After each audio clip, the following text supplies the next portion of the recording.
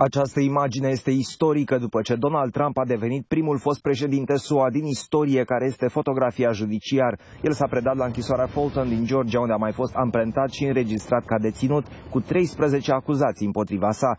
După aproximativ 20 de minute și o cauțiune de 200.000 de dolari, Trump a fost lăsat în libertate și a oferit primele declarații. If you challenge an election, you should be able to challenge an election. I thought the election was a rigged election, a stolen election, and I should have every right to do that. What has taken place here is a travesty of justice. We did nothing wrong. I did nothing wrong, and everybody knows it.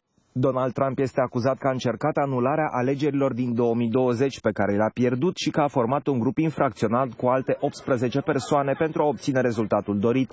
11 dintre complicii săi, printre care avocatul Rudy Giuliani și fostul șef de cabinet de la Casa Albă Mark Meadows, s-au predat la rândul lor. Pentru restul, termenul limită expiră astăzi. Este al patrulea proces penal împotriva lui Trump, dar care cel mai probabil se va judeca primul. Judecătorul de caz a acceptat cererea unui avocat al apărării pentru o procedură rapidă și a decis ca procesul să înceapă pe 23 octombrie.